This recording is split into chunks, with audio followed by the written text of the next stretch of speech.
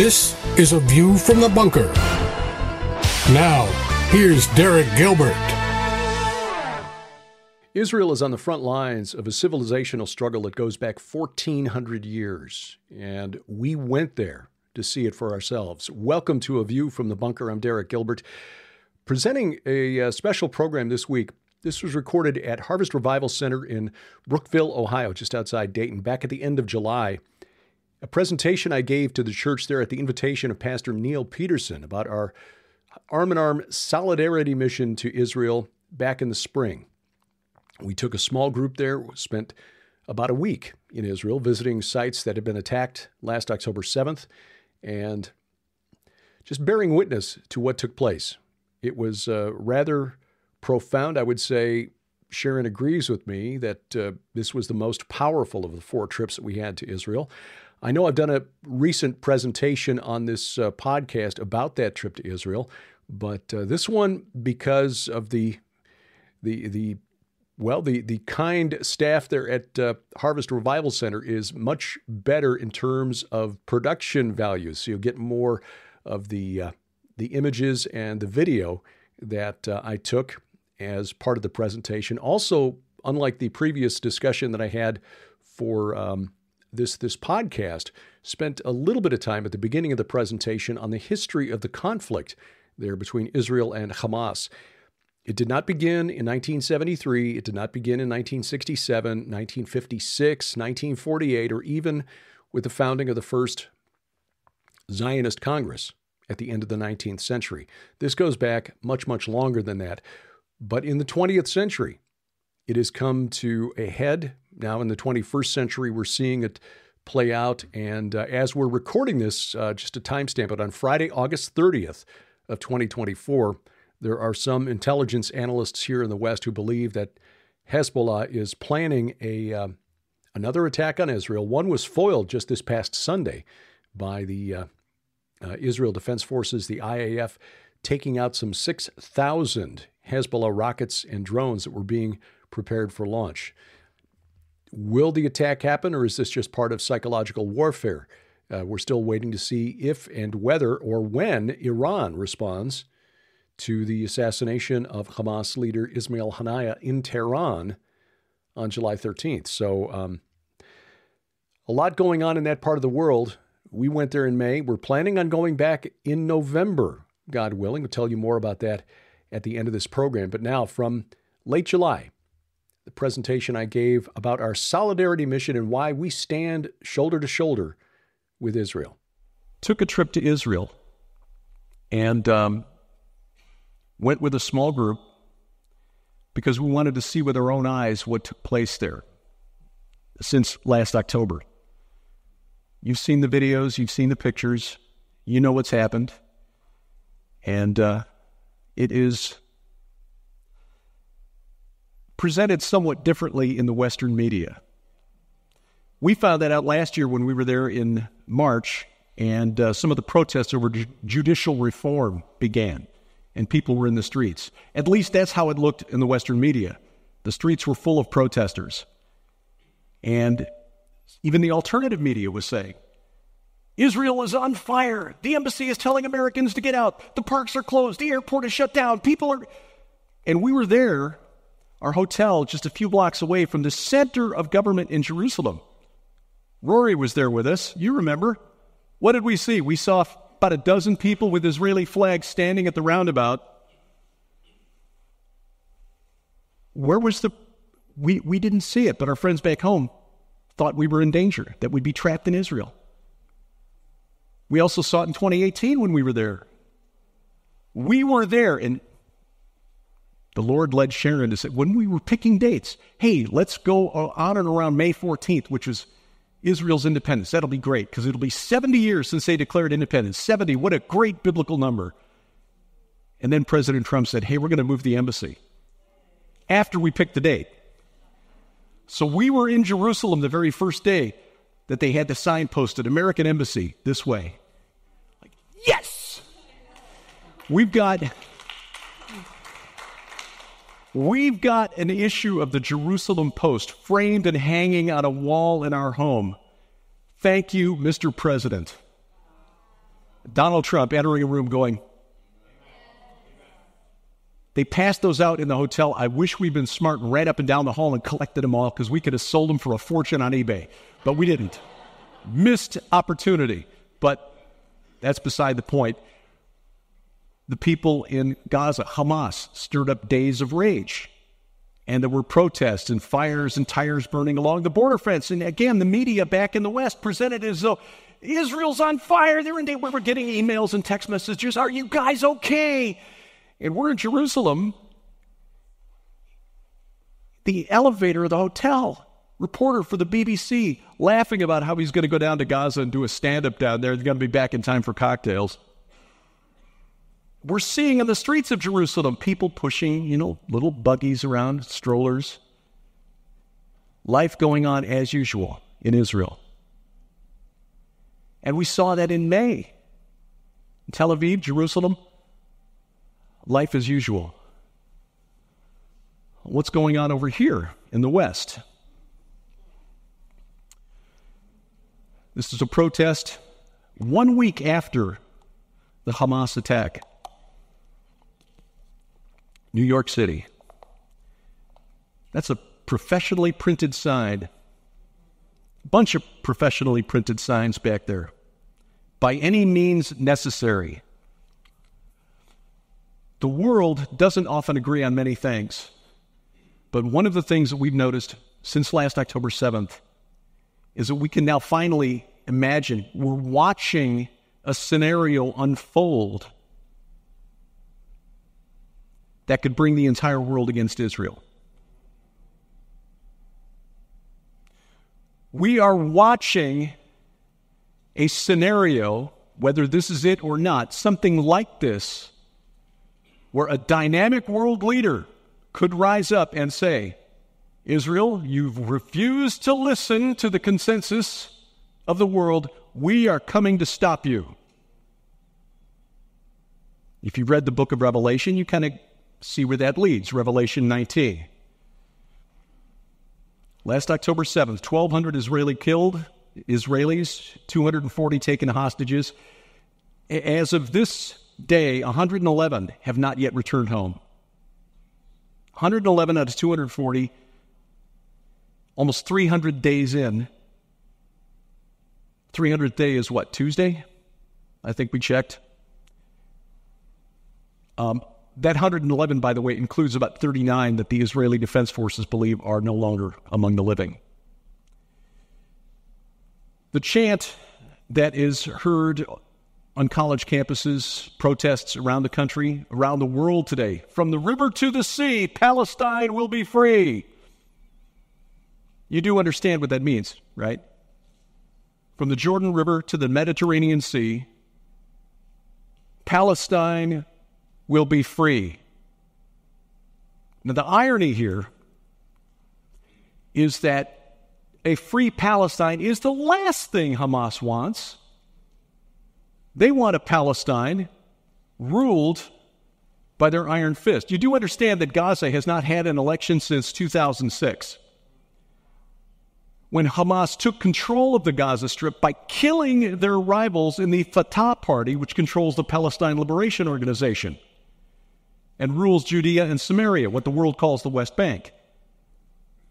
When Israel pulled out in 2005, forcibly removing Jewish settlers who had settled in communities in the Gaza Strip. Hamas waited until the Israeli soldiers were out, then they rose up and killed the opposition party. They have not had an election since 2006.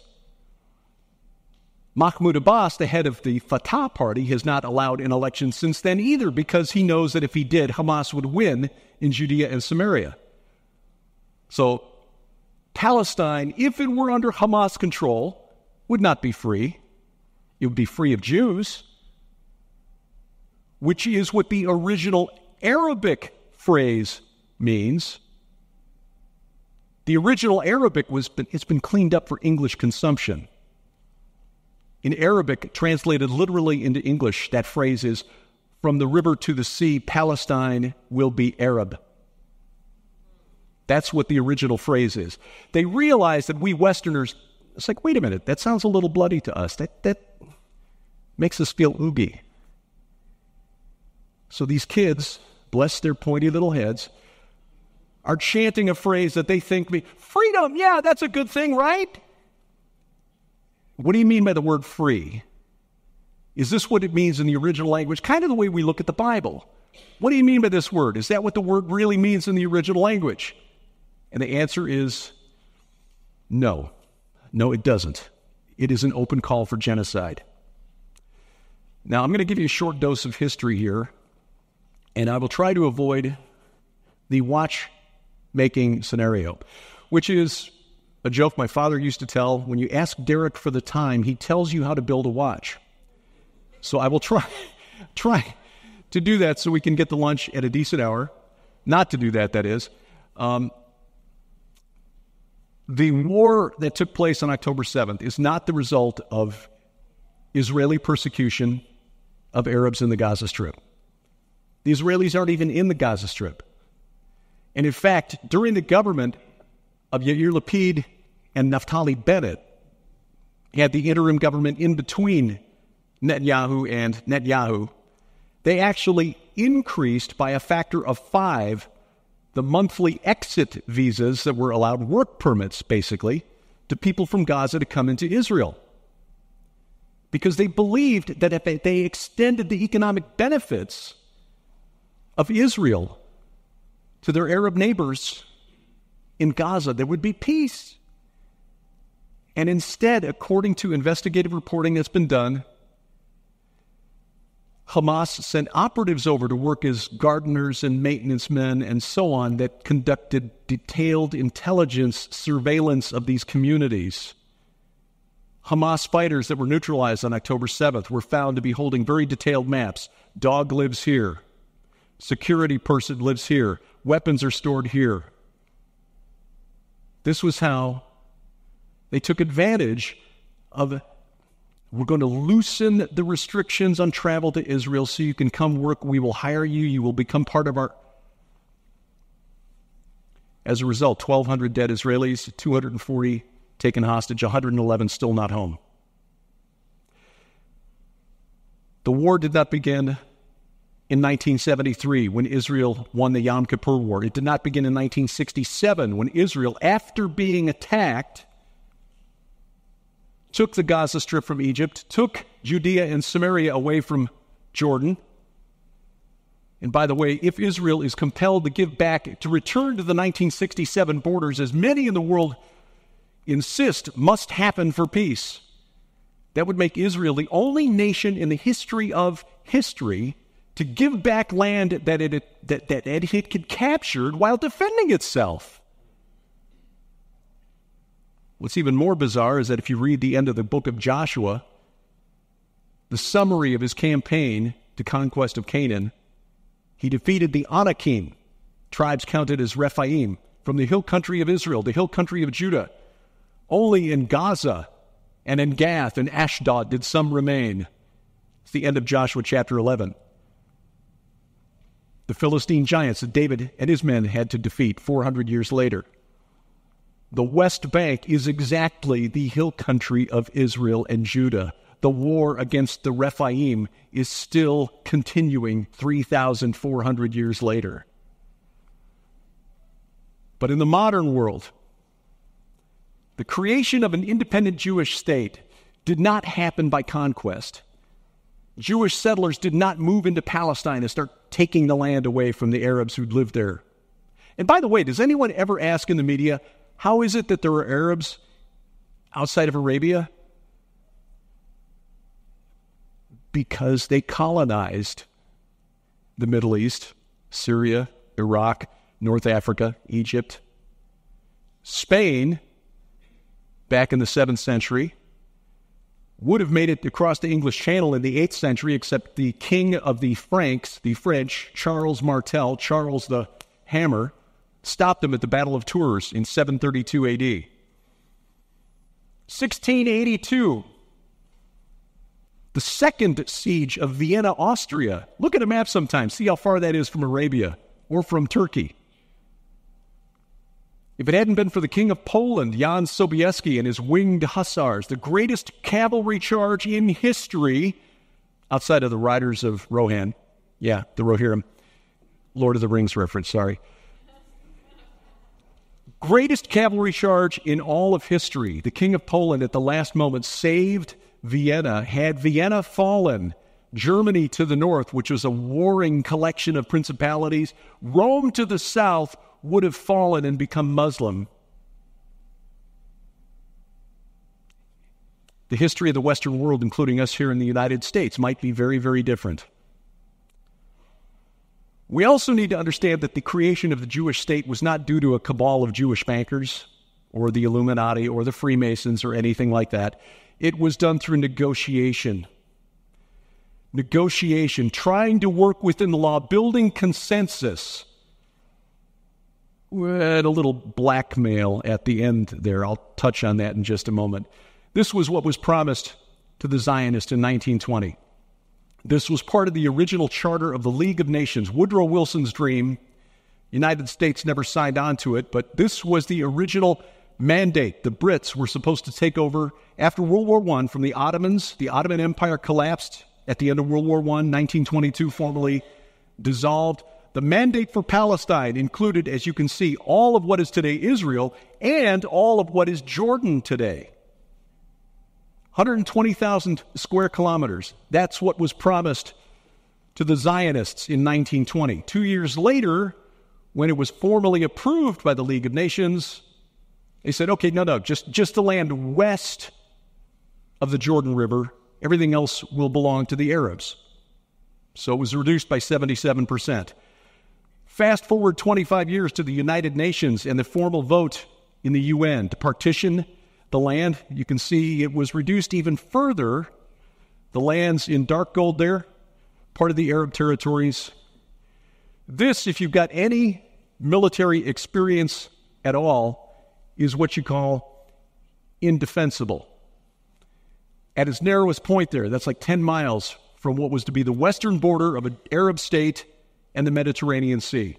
That's the 1967 border that Barack Obama insisted Israel must return to, what the world keeps insisting Israel must return to.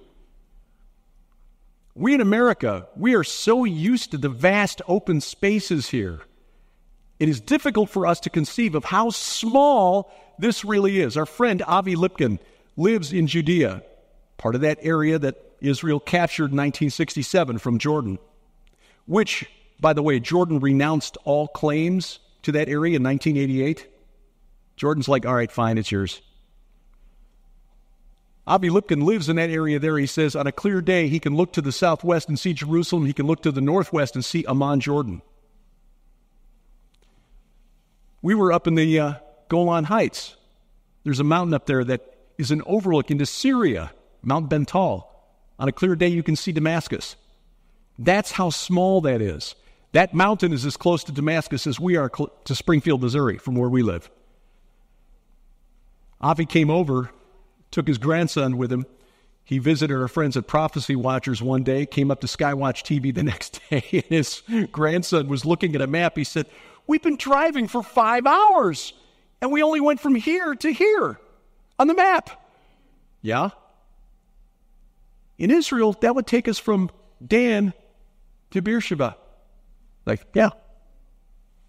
So it is difficult for us to conceive of, but that's how small Israel is. Now, this vote passed on November 29th of 1947, and I won't go into the details because there are books that have been written about this. I highly recommend the book called The Secret War Against the Jews. It's about how Western intelligence, British and American mainly, has conspired since the 1920s to try to prevent and destroy Israel. David Ben Gurion, the first prime minister of Israel, during World War II, began to hear from intelligence officers, Jewish intelligence officers, inside German intelligence. Yes, there were Jewish intelligence officers working inside the Nazi regime. Jewish intelligence officers working inside the OSS, the precursor to the CIA, working in Soviet intelligence. And essentially to get the votes needed for the United Nations to, to partition Palestine to get an independent Jewish state, Ben Gurion, once it became clear that the Western Allies were not going to save the Jews in the concentration camps, nobody was coming to save them, so they had to save themselves. Ben Gurion had to blackmail Stalin. We know who your agents are inside the United States. Had to blackmail Americans like the Dulles brothers, and Nelson Rockefeller later became the vice president under Gerald Ford, whose connections with Standard Oil made him a lot of money during World War II.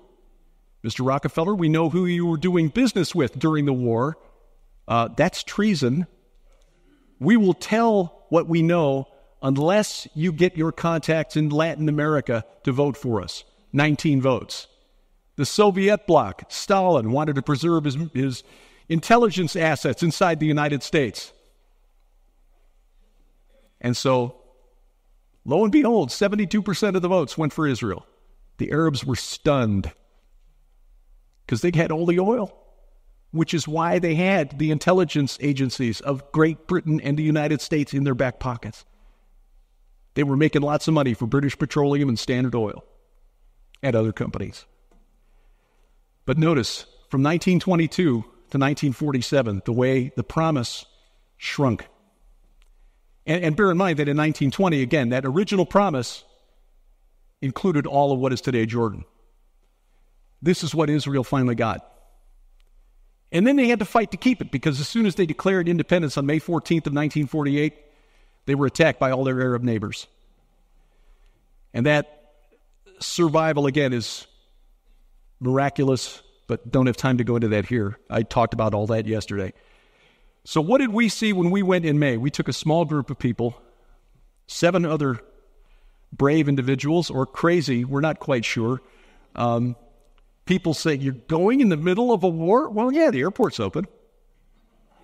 Um, but there were people, and we had people, God bless them, from three continents people from the United States, people from the UK, people from New Zealand who'd been with us there before. You remember Neil and Sandy, Rory, from New Zealand? They came back with us. God bless them. Crazy Kiwis. yeah. And we traveled around. In fact, some of those people said, you know, my, uh, my children don't know where I am right now because I didn't want to have that fight. I'll tell them when I get back. we told our daughter, and Nicole was like, okay. It's like, well, you know, we've had a good run. And besides, if you're going to get called home, what better place, right? The Holy Land. Well, one of the things we noticed when we first arrived in Israel, Ben Gurion Airport, you see this display. People who've not yet returned home. These are the faces that that greet you at the airport. Fly to other cities, fly into Dayton, Atlanta, Chicago. You get all these signs from the mayor. Hey, welcome to our town. Our town is great. You fly into Israel. Bring him home. Bring him home. Bring her home. There are still 111 of those. We also noticed when we got to our hotel, which uh, interestingly was just a block and a half from the official residence of Prime Minister Netanyahu. Uh, once again, it was one of those things. Where are the protests? We told the people are on the streets protesting the prime minister. There's nothing going on here. One night, one night there was a protest across the street from the hotel. There's a little square with a fountain called Paris Square, which apparently is the official protest site in Israel or in Jerusalem, because they keep police barricades just kind of stacked up against the walls over there. And okay, protest. All right, let's put the barricades out.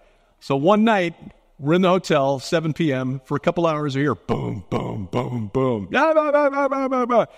But very politely at 9.30, they started closing up, and then they went, went home. That was it. That was it.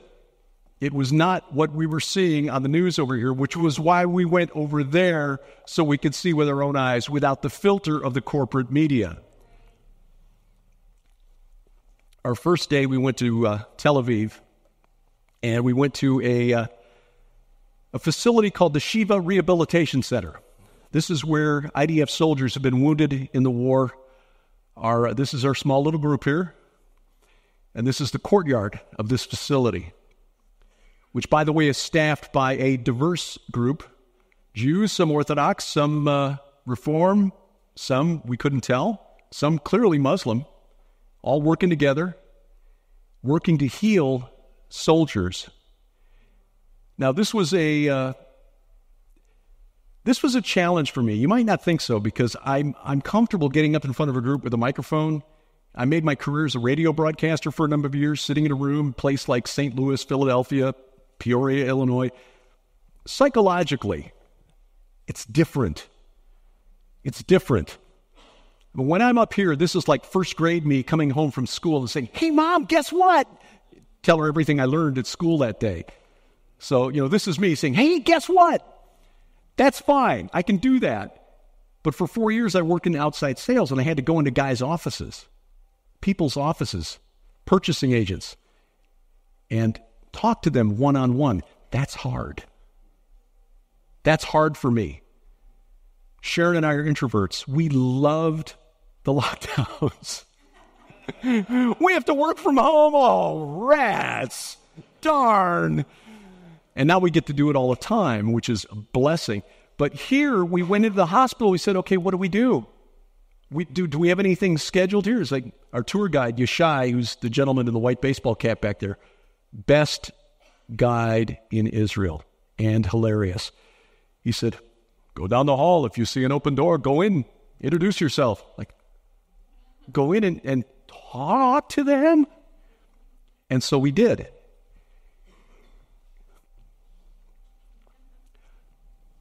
Somehow they figured out that we weren't Israelis. I, I, guess having the little name tags around our necks probably was a clue. But we went in and we talked to soldiers, and they were, Why are you here? And some of these guys have been pretty badly injured. I mean, missing fingers, missing lower half of a leg. And we said, because we want to show you that the whole world does not hate you.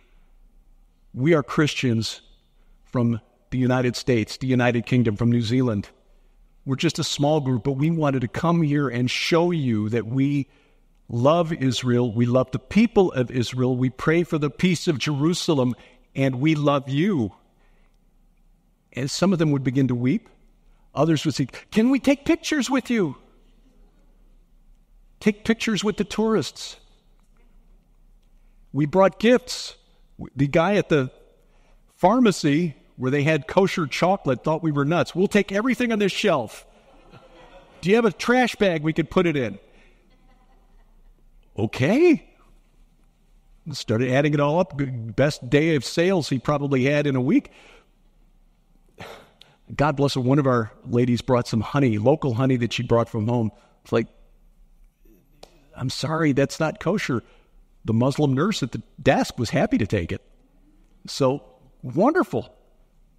Met a young man there named Roy who uh, turned out had lived in St. Louis for a while. Well, we lived in St. Louis for a while. I moved there in 19, 1989. Spent 16 years in St. Louis. He worked for a cousin who had an HVAC business there. He's wearing a Dodgers cap. Roy, you were from St. Louis. Why are you wearing a Dodgers cap? Well, I don't know much about baseball. But my cousin took me to, a, to, a, to an auction to raise money for a Jewish charity, and I bought a Yankees cap. It, it was signed by some player, uh, Bob, uh, Bob, Bobby, Bobby Ruth. Babe Ruth! You got a cap signed by Babe. Yeah, I don't know who he is. Who's the most famous soccer player you've ever heard of? And he threw out a name I'd never heard of. I said, that's Babe Ruth. Well, I wondered why it cost me a thousand dollars. Add a zero to that, Roy. Hang out of that. That's your retirement. Good grief. But while we were there, we also met a young lady named Maya Regev. At the time, we only knew her as Maya. She had her leg bandaged up to her hip. She had been taken hostage at the Nova Music Festival. We were there on day number 213. So, more than seven months in, she was still bandaged up to her hip. She'd been shot in the leg. She was returned on day 51 with her brother. So, she was in Hamas captivity for almost two months. Seven months later, she was still in the hospital In fact, I looked her up last night just to see what her status was. She was released from hospital six weeks ago. So, more than nine months in, th- this is her testifying to a committee at the Knesset. And as you can see from the headline there, every woman sexually harassed. In fact, gentleman just interviewed he wasn't taken captive at the Nova Music Festival, but this man had been abused at the festival, played dead after his abuse, and his captors forgot about him, and he lay there until. But they won't give his name because it's humiliating. And I will say, and I don't think I'm reading too much into it. You know, you get to a certain age, you can kind of read people that young lady when we met her there. And the soldiers that were around her, they were trying to cheer her up. Oh, she's the queen of the rehabilitation center. Oh, she had a haunted look about her. We can only imagine what happened in her captivity. I've done some reading on the history of Muslim interaction with the West over the last 1400 years, with an emphasis on battles and, and things like that. And it is probably as bad as you can imagine.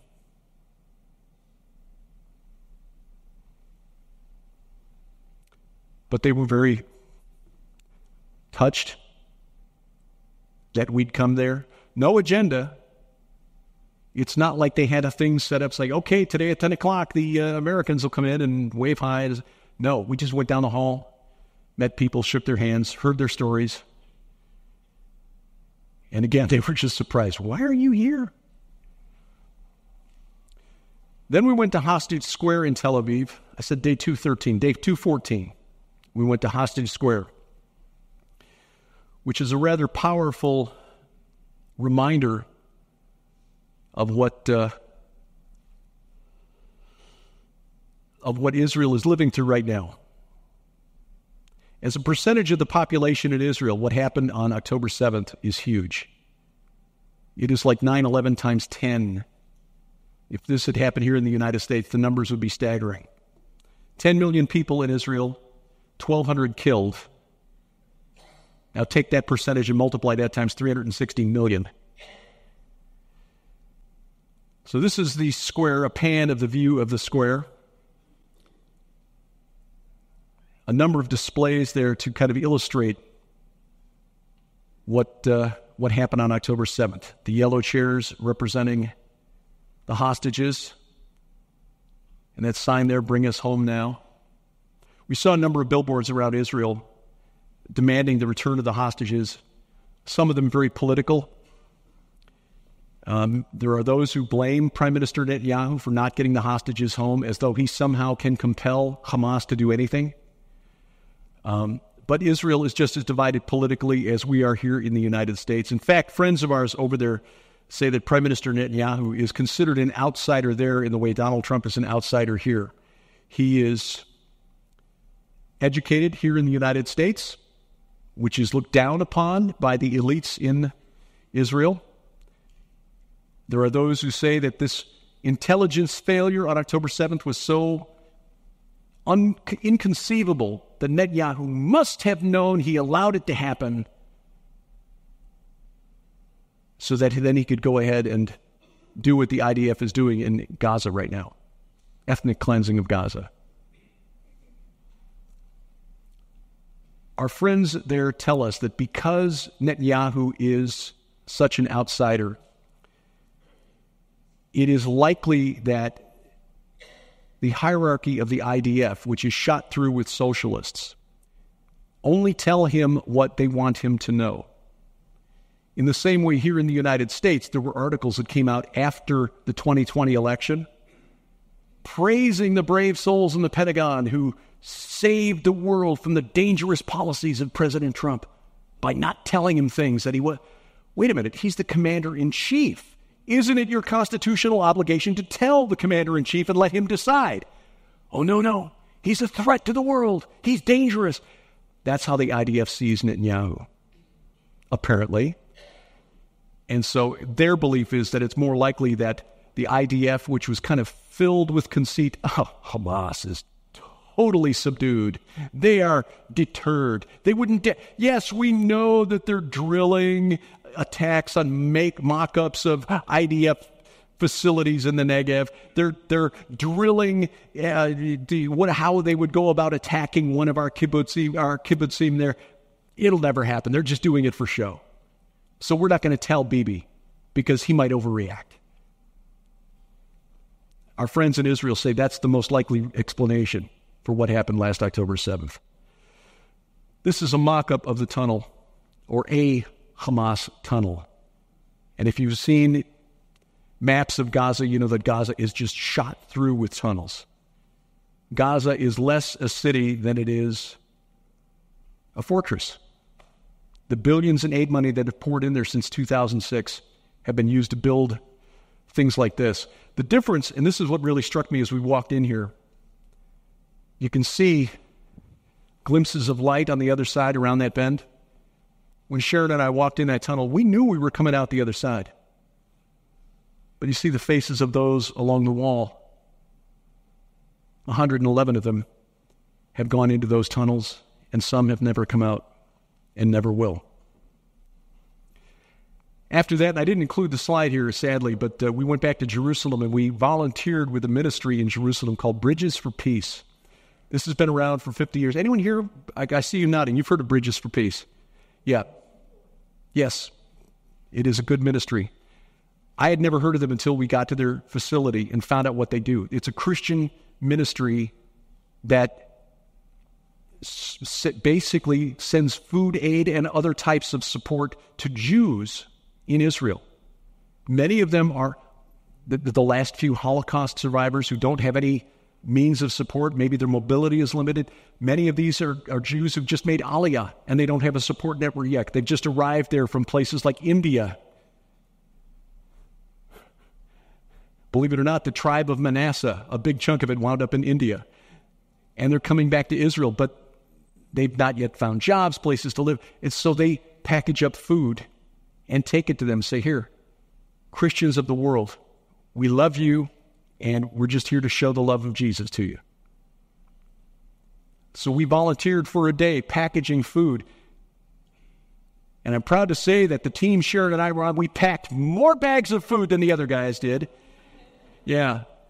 A rather small office, but they've got offices on five continents. You can look them up online Bridges for Peace. I did an interview with the, uh, the local director there, and it was uh, something we plan to do. We asked them, in fact, when we take our full tour back next March, if we could get the whole tour in there. How many people do you have with you? Yeah, big tour, we usually do 100, 120. We couldn't fit 120 people, but we'll find a way to use them. So, yes, and we are going back on another tour like this, a small, what we call solidarity mission in November, and we plan to go back to Bridges for Peace. The following day, we went to the Negev, the area in the south that was attacked. This is from the overlook from the town of Sderot, which is a town of about 30,000 people, 35,000 people. You see this uh, light area here? That's the border fence with Gaza. It is literally half a mile from Sderot. So when they cut through the fence at about six dozen places, with their ATVs and their motorcycles, they only had half a mile to cross to get to the town of Sderot, where 70 people died in those attacks. While we were there, we could hear explosions in the distance from the operation, the IDF operation in Rafah in the south. That radio tower that you see in the back there, in that area to the north, that's the Israeli city of Ashkelon. It is, again, a small place compared to what we are used to. And it is astonishing that that half mile distance was all that separated them from death on that day. From the overlook, we went to a playground. This is a playground in Sderot. You see that brightly colored? Looks like a sna- it looks like a like a caterpillar. The head end of the caterpillar up there. Believe it or not, that doubles as a bomb shelter. This is a look at at the uh, front end of it. You can see how thick that wall is, made of concrete. It's because Sderot is only 15 seconds from Gaza as the rocket flies. When the red alert sounds, children know run into the caterpillar. Because if you don't, well, on October 7th, this caterpillar, you see those marks there? Shrapnel from a bomb that hit that playground on October 7th. The children know when the, when the alert sounds, get into the caterpillar or get into the little Smurf treehouse painted in bright colors, but eight inch thick concrete. Who lives like that? Well, Israelis do for the last 75 years. From there, we went to the police station in Sderot. This was the site of a fierce battle between the terrorists and a group of Israeli civilians and police officers. This is what's left of the police station. That's rebar coming up from the foundation, or what had been the foundation, is now turned into a memorial. 30 officers and civilians inside the police station lost their lives that day. 70 people in Sderot altogether, including 15 people who were on a, a, a van, senior citizens who were trying to get away. And, and this kind of hits close to home for me because my mother is 87, lives in a nursing home. And so here you had a, a van load of 15 senior citizens trying to get away. And the van blew a tire. And while they were trying to change the tire so they could get out of town with the gunfire and the explosions around them, Hamas terrorists caught up with them and shot senior citizens who are no threat to these young fighting men, armed fighting men, and they killed them because they're Israeli. They're the enemy. So, as you can see, it's been turned into a memorial site. The uh, terrorists overwhelmed the police officers and broke in, and this sort of commemorates how it was finished. They brought in an IDF tank. You can see the bullet hole still in the wall. This is facing that uh, empty lot that used to be the police station. And they brought in an IDF tank and they took down the building on top of the terrorists. The mayor of Sderot said, as soon as they could, clean the rubble away. We're not going to rebuild on this site. This site will become a memorial to the police officers and to the people who died that day. But this is directly across the street from a, a, a civilian neighborhood. Those are apartment buildings. And we found out the reason for that memorial on that center building there. During the fighting, a Hamas terrorist got up on this building here. A sniper and as Israeli police officers and soldiers came to try to relieve the siege or to break into the police station where the terrorists had broken in, the sniper on that building shot and killed 15 Israelis who were trying to neutralize the terrorists inside the police station. We learned this from the deputy mayor of Sderot, uh, his name is David, and I forget his last name, but our tour guide recognized him from news media and said, "Tell, tell, tell them the story about the uh, about the mural." And so he told us an off-duty IDF soldier found another off-duty soldier. Now, the first guy just had his pistol. And again, if you know anything about firearms, trying to take down somebody from a distance with a pistol is practically impossible. Pistols are not made for precision shooting. The second guy had his long gun, his rifle. First soldier says, Give me your gun. second guy says, I can't. Regulations. Regulations. So the deputy mayor tells us, We're not sure how the first soldier convinced the second soldier to give him his gun, but he got his gun. We're not sure if it was persuasion or if it was, look over there. Either way, he got the gun and he climbed inside, got inside one of the other apartment buildings and climbed up to the third floor, got into one of the apartments there, broke out the bathroom window, and shot from the bathroom window a rifle without a scope and took out the, t- uh, the, the, the sniper, the terrorist. And I'll zoom in on this because this is the reason for this part of the mural. There are dozens of stories like that from that day. And again, the people of Sderot planning to turn that into a, a memorial now. From there, we went to the village of Ofakim. This was the site of a story that we heard about the day after the event. We watch I 24 News out of Tel Aviv. Um, remarkable story. We didn't know we were going to hear it that day, but you can see the people in the neighborhood who are still trying to rebuild have realized that people from all over Israel are coming to their village to see what happened. Other Israelis are making trips to the south to see their community. And so they're setting up places, they're set, you know, the little umbrellas there, buy lemonade, buy water. Many of their businesses were destroyed. We met a young man whose paint business, he worked for a company that made paint in the Negev. The factory was destroyed. He said, I'm out of work. And the government we, we have learned the government of Israel is even less efficient than the government of the United States. They are still waiting for help from Jerusalem. Luckily, I had a hat and we passed it.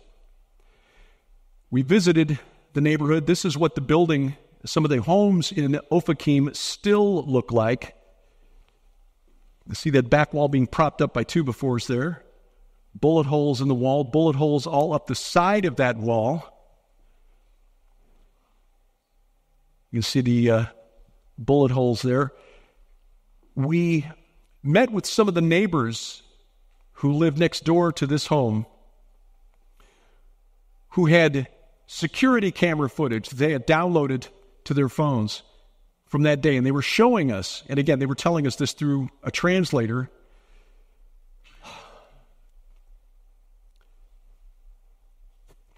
They shot the family dog. The dog was terrified. It was, it was on the security camera trying to get in the house. It was no threat to the terrorists, and they shot the family dog.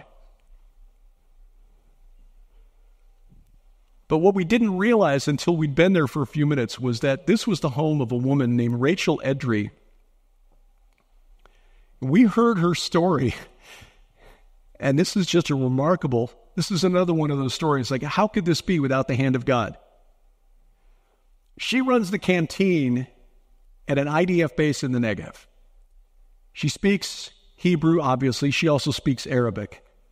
So after shooting the family dog, the terrorists break into her home. Five men armed with automatic weapons.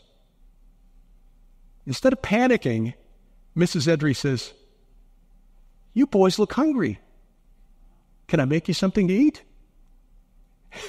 and they were like, Uh, okay.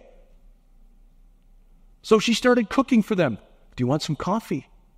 You boys look tired. How about you take a nap? Hey, it's it's it's good. It's fine. So she baked for them. She made them food. She she stalled them for 20 hours gunfire going off in the neighborhood all around, explosions in the distance. As the IDF begins to close in, they finally mobilize and begin to come to the help of the people in the Negev. 20 hours, she stalls them. Her son, local police. He recognizes what's going on. He rounds up counterterrorism troops, IDF soldiers, Mom looks out the window. She sees her son outside, doesn't give him away, but she holds up five fingers. So he knows there's five of them inside. So he gets the troops he gives them the intel on the, ins- the layout of the house. You go in through the front door, turn right, up the stairs, that's the kitchen, or whatever. And so after 20 hours with these murderous terrorists in her home,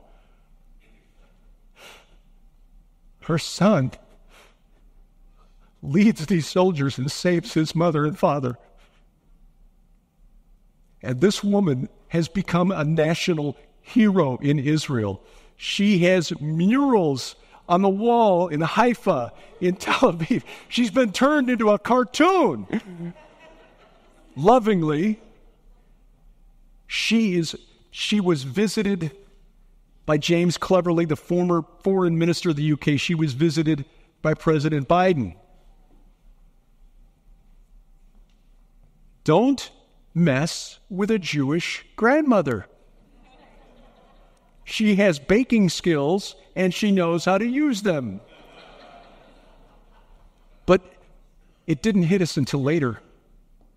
The people that we met in the village of Ofakim, how many of them would not have been there had she not stalled those men and kept them in her home, not knowing if she would live for the next five minutes?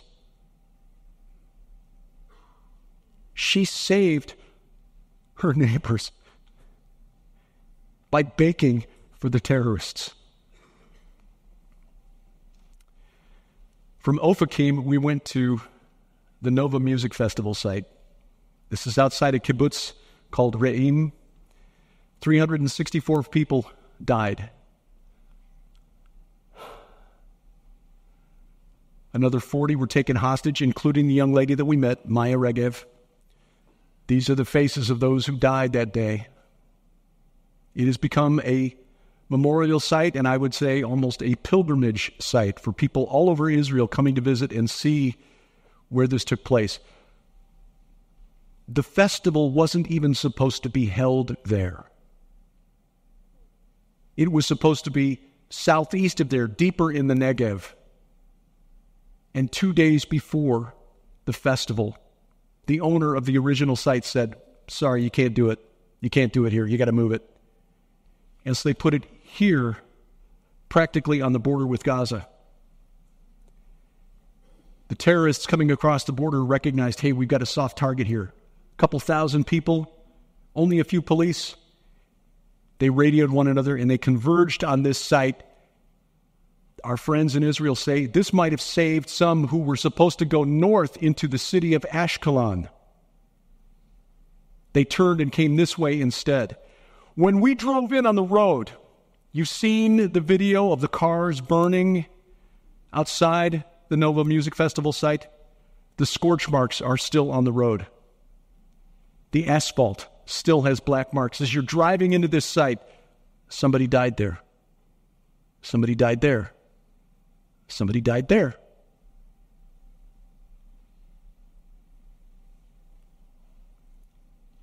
It is, as you can see, young lady there from the IDF. Soldiers coming there to see this is why we're fighting.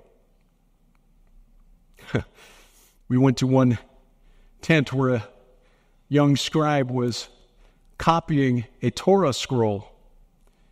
He was from a community in the north that had been uh, evacuated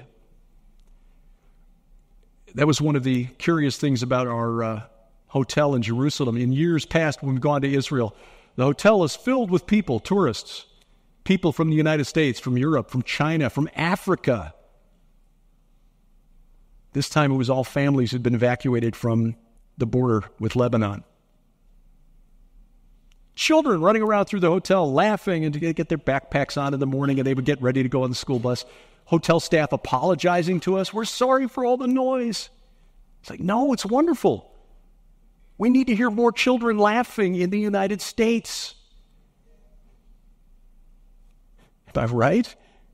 We're not having enough babies these days. The Israelis are. And so this man who was copying a portion of Deuteronomy would allow people to come in for a donation place a hand on his while he was copying the Torah scroll.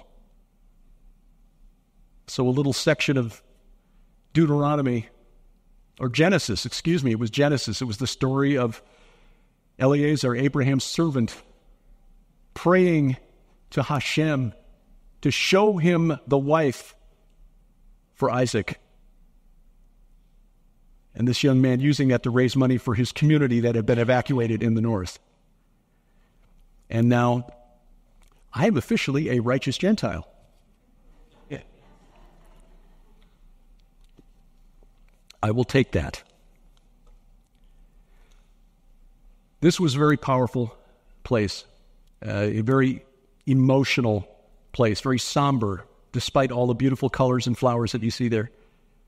These people were there for a trance music festival,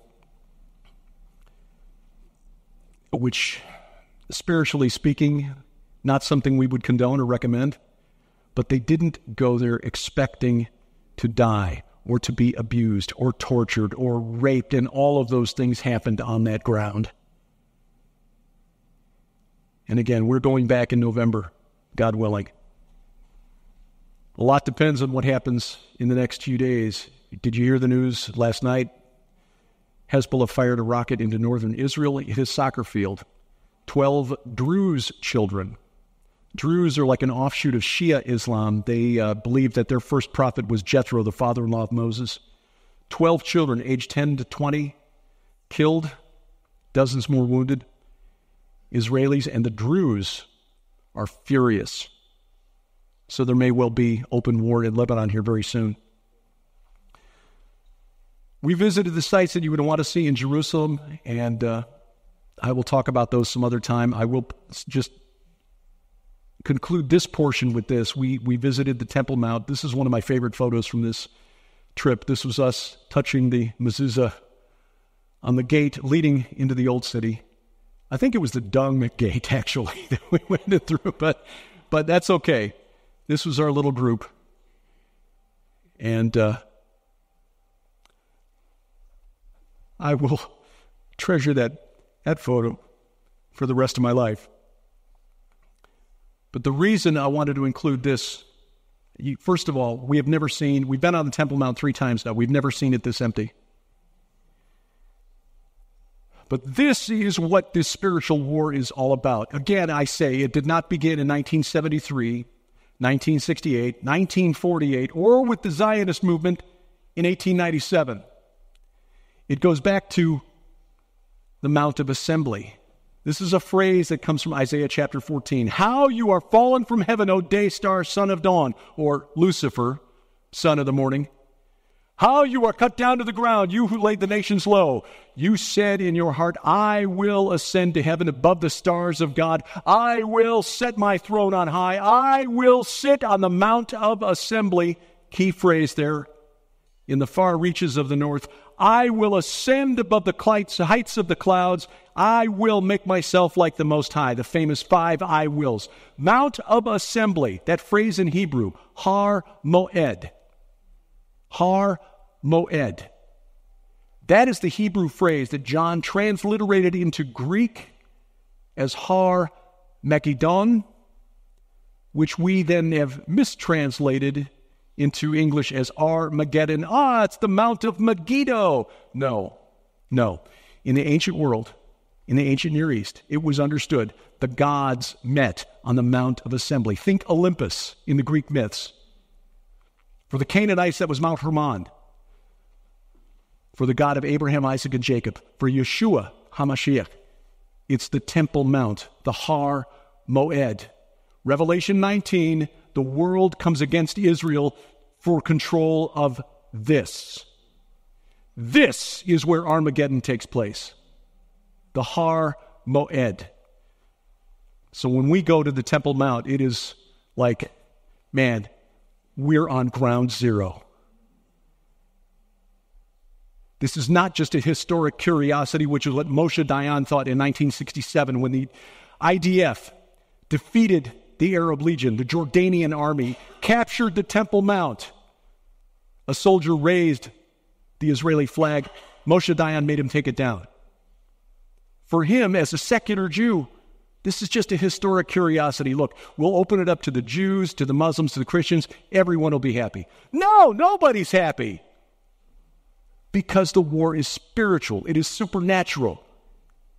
And it will not end until Jesus returns in the clouds in great glory. And let me finish with this God is not done with Israel. There are some in the church, and this is why I get passionate about this, because there are some in the church, God bless them, who are convinced that we have replaced Israel in the promises of God. That we are Israel. Spiritual Israel? Yeah. Physical Israel? No. Now, I know Vice President Harris loves Venn diagrams. There's a really cool Venn diagram that shows the overlap between us and Israel. And I will say this as a Christian, we all understand that all of us need Jesus. As the Lord said, I am the way and the truth and the life, and no one comes to the Father except through me. But as I said at the beginning, if we approach them and say, Look, everything you know is wrong, they're not going to listen which is why we appreciate ministries like Bridges for Peace. Show the love of Christ. God is not done with them. Jeremiah chapters 31 through 33. I'll just read a small section from Jeremiah 31 about the restoration of Israel, the word that came to Jeremiah from Yahweh. Thus says Yahweh, the God of Israel Write in a book all the words that I have spoken to you. For behold, days are coming, coming, declares Yahweh when I will restore the fortunes of my people, Israel and Judah, says Yahweh, and I will bring them back to the land that I gave to their fathers, and they shall take possession of it. Now, there are some who'll say that, yeah, that was fulfilled after the return from Babylon. Jeremiah was writing at the time of Nebuchadnezzar and just before the sack of Jerusalem and the Babylonian captivity. Yeah, they came back around 440 BC, and then Nehemiah and Zerubbabel, and they rebuilt it. That was fulfilled then. Except that in verse 8 of Jeremiah 31, there's a reference to the day of the Lord. Whenever you're reading in the Old Testament, you see in that day or on that day, that's a reference to the day of Yahweh or the day of the Lord. That is a prophecy of a future day when God says, I've had enough of this foolishness, I'm coming down when he appears on the battlefield. Revelation 19, Ezekiel 38 and 39. When he appears on the other side, let me tell you something. The one time you do not want the Lord to make his face shine upon you is when you're in the enemy army. And that is going to happen someday, on that day, or in that day. This is not that day. So these promises of the future fulfillment or for the end times. Paul wrote in Romans chapter 11, I ask then, has God rejected his people? By no means, for I myself am an Israelite, a descendant of Abraham, of the tribe of Benjamin. God has not rejected his people whom he foreknew. Do you not know that what the scripture says of, uh, of, of, of Elijah, excuse me, hmm, how he appeals to how he appeals to God against Israel. Lord, they have killed your prophets. They have demolished your altars, and I alone am left, and they seek my life. But what is God's reply to him? I have kept for myself 7,000 men who have not bowed the knee to Baal. So, too, at the present time, there is a remnant chosen by grace. Now, bear in mind, Paul wrote this 20 years after Pentecost, which we agree is the, the day the church was created. Paul saying 20 years later, no, God's not done with Israel. And there is nothing in Scripture that suggests that that is the case. Verse 17, Paul writes, But if some of the branches were broken off, and you, although a wild olive shoot, were grafted in among the others, and now share in the nourishing root of the olive tree, do not be arrogant toward the branches. If you are, remember, it is not you who support the root, but the root that supports you. And then Zechariah 12. Zechariah, who wrote quite a bit about the coming day of Yahweh, the oracle of the word of Yahweh concerning Israel. Thus declares Yahweh, who stretched out the heavens and founded the earth and formed the spirit of man within him. It's pretty good credentials. Behold, I am about to make Jerusalem a cup of staggering to all the surrounding peoples, a cup of staggering, drunkenness. The people will act in ways that seem crazy.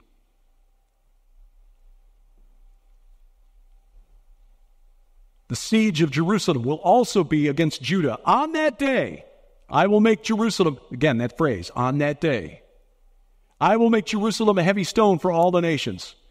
All who lift it will surely hurt themselves, and all the nations of the earth will gather against it. The war of Gog and Magog is not just Russia and Iran and a few other nations. When Ezekiel was naming his coalition in Ezekiel 38, all the nations to the north, you Persia to the east, Cush to the south, Put to the west. Those were the nations that were as far in those four cardinal directions as his readers would know from Israel. He was saying they're coming from the whole world against Israel. That's what Zechariah is saying. Verse 8 On that, there's that phrase again, on that day, Yahweh will protect the inhabitants of Jerusalem so that the feeblest among them on that day shall be like David, and the house of David shall be like God, like the angel of Yahweh. That's Jesus, by the way. Going before them, and on that day I will seek to destroy all the nations that come against Jerusalem. This is why I say standing with Israel is standing on the right side of history. You do not want to be on the other side of the battlefield when the Lord lifts up his face and makes his face to shine upon those before him. Verse 10 And I will pour out on the house of David and the inhabitants of Jerusalem. He's being really specific here. Judah, the Jews, the house of David, a house within Judah. As much as I would love to claim to be in that, that number, I'm a Japhethite. I am not an Israelite. I'm grafted in. And I'm thankful to be grafted in. If it wasn't for the grace of God, I think about the religion of my distant ancestors. Who would I be worshiping today? Thor? Odin? Some of the Celtic gods? I don't know. But I do know that there is no other name that saves other than Jesus Christ. So praise God that we are grafted in. And as I said, we know that there is no special dispensation for the people of Israel. But as an old sales guy, you're not going to win them over by bashing them on the head. Yes, we know that the Talmud says some terrible things about Jesus. There's some Christian pastors who said some really terrible things throughout history. Praise God, we don't have to try to defend them. But here's the verses, here are the verses that I, I think this is where I get up my uh, handkerchief. And I will pour out on the house of David and the inhabitants of Jerusalem a spirit of grace and pleas for mercy, so that when they look on me, this is God speaking, when they look on me, on him whom they have pierced, they shall mourn for him as one mourns for an only child, and weep bitterly over him as one weeps over a firstborn. On that day, God will say, Okay, open your eyes, as he did to Paul on the road to Damascus. And they will look on him and say, What have we done? And they will repent. If we plant those seeds, the Holy Spirit will bring them to fruition. So until that day, we show love to our brothers and sisters in Israel. And we remember, again, a phrase that I mentioned yesterday that we saw again and again in Israel. Am Yisrael Chai. The people of Israel live. Amen. Amen. Amen. Thank you. You want to watch that video again? You can catch it on a, uh, a standalone version of that uh, video, the presentation at uh, Harvest Revival Center. It's available available at our streaming video site, which is gilberthouse.org/video. Gilberthouse.org/video, where we've got a number of other videos available that you can uh, rent or buy permanent access to, teachings, presentations, DVD, well, streaming versions of the DVDs, including our travelogumentaries, to borrow a term from our friend Dr. Aaron Judkins of our previous Israel tours. Uh, again, all of that there, but this one, the presentation at Harvest Revi- Revival Center, it's there at the page, top of the page when you land, and it is free. So go there, check that out. Gilberthouse.org slash video. Um, couple of things to tell you about. First of all, Sharon's first novels are now back in print. Winds of Evil, book one of the uh, the red, uh, not the Red Wing Saga, the Laodicea Chronicles, and the Armageddon Strain, book two. I guess I've got these reversed. Is it one and one and two? There we go. Are now available at the Gilbert House store. You can also get them in uh, Kindle format from Amazon. If you buy the hard copy, Sharon signs it before we send it out. Uh, these also available in uh, as audio book versions. You can get those at Audible via audio, but uh, books one and two of the Laodicea Chronicles, and uh, just as a point of interest, as we go, she goes forward in the Laodicea Chronicles. Uh, there will be some elements of the Red Wing saga that enter in. I should also point out that um, there are characters that are mentioned, especially in the Armageddon strain, that show up in my novel, The God Conspiracy. Yeah, we're writing separately, but sharing characters back and forth, which is something we started doing 20 years ago. The original publisher got a little, I guess, weirded out that we were talking and writing about things like uh, UFOs, crop circles, and uh, demonic possession and stuff. Imagine a Christian fiction publisher getting weirded out by stuff like that. Anyway, available now, um, gilberthouse.org slash store. And coming up, we've got some uh, other stuff to tell you about. Uh, Sharon's going to be part of a, a, virtual conference in October. I will be in North Dakota next week, a Christmas conference in Branson. And oh, yes, Kamala Harris finally sits down for an interview. Bless her pointy little head. That and more as A View from the Bunker continues.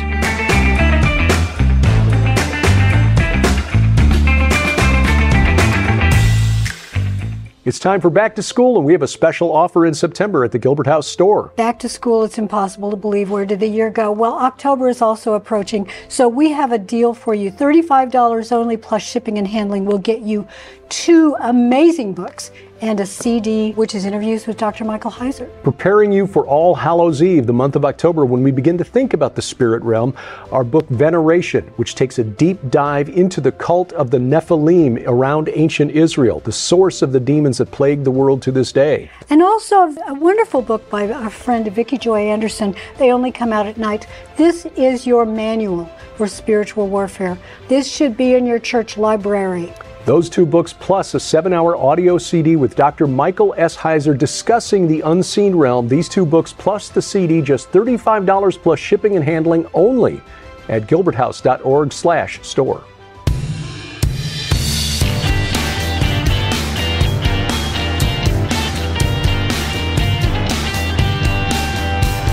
Talking the Walk every Sunday night from the beautiful Missouri Ozarks. This is a view from the bunker. I'm Derek Gilbert. You'll find us online at vftb.net. That's our web hub. Also on uh, the social medias, social media, you'll find us Twitter at, or rather X, formerly Twitter, at View from Bunker, at Derek Gilbert, or at Gilbert House underscore TV. You'll find us on Facebook, the View from the Bunker page there. Please give us a like. Uh, also, Truth Social Gab, uh, MeWe Gettr, uh, don't use those very often. Truth Social, some, Gab a little bit more often, but you'll find me there at Derek P. Gilbert, and of course on YouTube at Gilbert House. That's the uh, channel. Please subscribe, share, click the like, and uh, then please download our free mobile app because that guarantees we never get canceled. Brings all of our content from the Christian company who's developed the app right to your smartphone or tablet. If you want to cast the video content to your smart TV, you can do that using Google's Chromecast or Apple's AirPlay. But the main thing is you bypass the gatekeepers of big tech. There's also a, a messaging section where you can join in conversations there. Send questions to Sharon and me. We try to answer a couple of questions each weekend on PID Radio and our Gilbert House Fellowship Bible Study. You can also comment on these programs, share news items, and then, of course, prayer requests and offer prayers for one another. That is a, a powerful thing. That's really become the most the most active section of the app and the most active app on my smartphone, my uh, iPhone. So uh, you'll find it at gilberthouse.org slash app, gilberthouse.org slash app. It's also available at vftb.net. Just check the top menu bar there for the link. Well, Thursday night, Kamala Harris, some, what, six weeks after becoming the de facto and then the official Democratic Party nominee for president, finally sat down with a reporter, a journalist, and took some questions. Now, she insisted that this interview not be live. CNN recorded it, did a little editing, don't know how much. Uh, but she also insisted that her vice presidential candidate, Tim Walz, sit in on the interview with her, which um, some have dubbed her her emotional support governor, sitting there with her to help with questions that got a little too difficult. It was similar to her her speech at the Democratic convention the previous week. Good enough, not really remarkable. Didn't hit a home run, but didn't really embarrass herself either. It, it was really just unremarkable. If you're looking for content, if you go back and watch the video from CNN, you don't find that she really distinguished herself in any way. It was um, notably devoid of content, which seems to be a strategy for her campaign. They're really putting her out there as sort of the stealth candidate, just an empty suit into which voters can project what they think she's about or what they wish or hope that she's about. Um, similar to the way Joe Biden ran for president back in 2020. Now, he had the excuse of COVID 19 and he's an elderly man, and so he's at high risk, so he's got to stay for his own safety. He's got to stay. Donald Trump went out and campaigned. And here, you know, uh, Kamala Harris doesn't have that excuse. COVID is still around, but it's not we're not nearly as dangerous as we thought it was back in 2020. She is not suffering cognitive decline, so they don't need to hide that, or at least she doesn't have that excuse to cover up for the sometimes vapid and contentless answers that she gives to questions. For example, when she was asked right up front what she would do on day one, she said, Well, we'll, we'll strengthen the middle class. Yes. Okay. Good. How are we going to do that? No specifics. Um, the thing that struck me the most, and I will say this for Dana Bash of CNN, who is no fan of Donald Trump, she's made that clear over the last five years. She did ask some good questions. However, she didn't follow up on a single one. When she asked Kamala Harris, why you've completely changed your stance on fracking, for example. So when she was a senator, when she ran for president in 2020, she was going to ban fracking. She would push for a ban on fracking. Fracking is a type of oil drilling where you inject water fluid into the uh, rock, the shale below the surface to free the oil from the rock. And it is uh, an important part of the oil business in the very key swing state of Pennsylvania. It's also key in other places like Oklahoma, Texas, southern Illinois, a lot of shale, western North Dakota, a lot of shale oil in those areas. Fracking, an important thing. In fact, I was told, I didn't know this, when I was selling structural steel in southern Illinois, 10, uh, 14, see, between 2011 and 2015, that uh, they've been fracking in southern Illinois for 100 years. I thought it was a new thing because it suddenly became a, an environmental issue. No, they've been fracking in the southern half of Illinois since uh, like 1905 or something like that. It's, it's, it's, it's not a new thing. Anyway, she was going to ban it. She was going to ban it. And uh, so when Bash asked her, why, why'd you change your position? Kamala's answer was, I've not changed my values. Hmm. Okay. Uh, once again, why have you changed your position on the border wall? Which, when Donald Trump was promoting it as senator and candidate for president, she was calling it a waste of money, un American. And now she's saying she, want to spend, she wants to spend hundreds of millions of dollars to complete the wall that Trump started. The material was, was procured under Trump, and then it was left out when Biden took office. Day one, stopped it and left the, uh, the steel tubing out there to just rust. Anyway, she's now flipped on that. Why? Well, because it's become a campaign issue in Democrat cities. where they're having a real problem with new arrivals. Again, you know, her main response is, My values have not changed. Okay. Mean, she may even believe that she's telling the truth when she says this, but her, her value her value appears to begin and end with this one sentence I really, really want to be president. Because everything she said in her political career is consistent with that particular value. Bless her pointy little head. We, uh, or I will be in North Dakota next weekend. There will be a program. I'll have that uh, uploaded and ready to go before heading off to Valley City, North Dakota for the Pitchfork and Hoe Gathering. This will be the second year in a row. Uh, honored to be asked to return this year. This will be next Saturday and Sunday, September 7th and 8th. The gathering itself begins on Friday. It's at the Eagles Club in Valley City. It's a big facility. And the, the gathering itself, the event itself, is sort of a um, series of seminars and uh, presentations on best practices for homesteaders and small farmers. Organic food, uh, uh, small farm maintenance or uh, uh, uh, administration, and things like that. So, really cool. And then a couple of crazy Christians, me and Dr. Doug Hamp, will be there speaking. So, on Saturday, I'll be talking about our forthcoming book, Sharon's and Mine, which is The Gates of Hell. That'll be out in October. On Sunday, talking about the secret history of Israel. Contrary to what many of us thought, uh, no, I'm sorry, the Rothschilds really didn't have much to do with the founding of the modern state of Israel. Uh, and I will explain who did. The history has been hidden because many of the players involved really want it kept secret because they weren't actually trying to make it happen. They were trying to block it. So uh, that will be next weekend in Valley City, North Dakota. If you're interested, you can follow the link at uh, the calendar at our website, gilberthouse.org, or the calendar on our app to the Facebook page for the Pitchfork and Hoe Gathering. That's where you'll get the latest information there. Lots of live music as well, and some really great food. I mean, they've got uh, uh, some some great smoked meats and uh, stuff that they will be serving there. Some organic um, uh, uh, uh, pastries and stuff. So I mean, okay, yeah, this is a chocolate muffin, but it's organic, so it's probably healthy, right? Uh, jellies, homemade jellies and jams and preserves and things like that. A lot of other stuff there. So there's a lot more to do than just you know come in here, me talk for a couple of hours. But uh, Hope we see you in Valley City, North Dakota next weekend. The first weekend in October, Sharon is taking part in the Inspiring Women webinar. This is a virtual conference being presented by Hear the Watchman. Sharon will be one of the speakers, along with Vicki Joy Anderson, Tracy Tennant, a couple spiritual warriors there.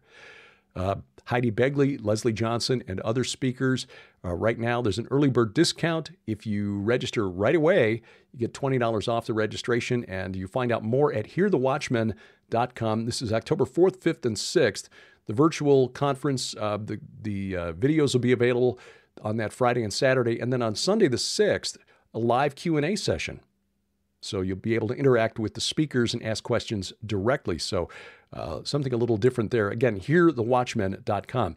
In uh, November, I'll talk about that in a second. Our uh, next Solidarity Mission to Israel.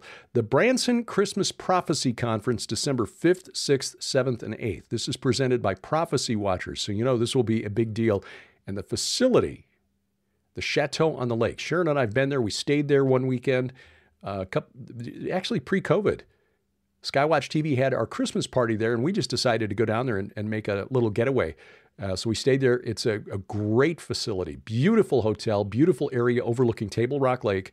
And um, with with a lineup of speakers like this, I'm honored to just have my name on the on the promo. You know, you know, stick stick me in the in the back room, the small room. Give me a you know first speech, first uh, time slot of the day. Don't don't care, don't care. Just happy to be there with L.A. Marzulli, Bill Salus, Billy Crone, Ken Johnson, Mondo Gonzalez, Josh Peck, Lieutenant Colonel Robert McGinnis, Alex Newman, Brandon Holthouse, Holthouse, excuse me, Olivier Melnick, Larry Allison, Doug Hershey, and more.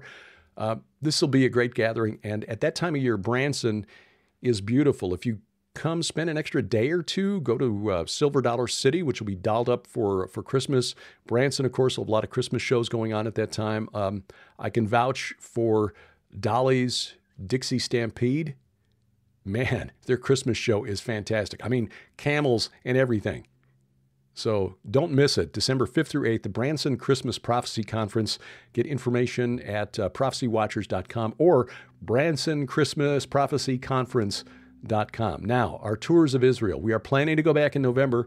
Obviously, a lot depends on what happens there with the conflict. We are praying that things will remain peaceful, but uh, we note that this week, not only did Israel preempt a massive Hezbollah strike that probably would have triggered a wider war, they also launched their largest military operation in Judea and Samaria, what the world calls the West Bank. Actually, was focused on Samaria, the northern part of the uh, West Bank, aimed at uh, taking out terror cells that are being armed by Iran. Iran is using proxies, not just in Gaza and in Lebanon, but in Samaria, trying to arm them and instigate October 7th type attacks in the heavily populated areas of central Israel around Jerusalem. So Israel has gone in there. As of this recording on Friday afternoon, that operation, which began Tuesday, is still ongoing. So this is kind of a big deal, and obviously this is something we are watching. A number of major airlines, American, European, have uh, suspended flights to Israel. But as of now, we're still planning on going there November uh, 6th through 13th. One week tour. It'll be a small group. And uh, we'll go visit sites in the South.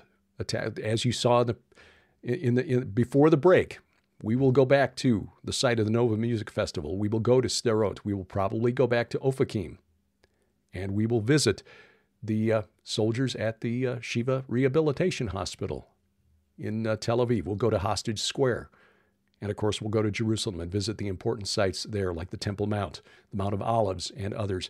We will visit the historic locations of the crucifixion and resurrection of Jesus on the Mount of Olives.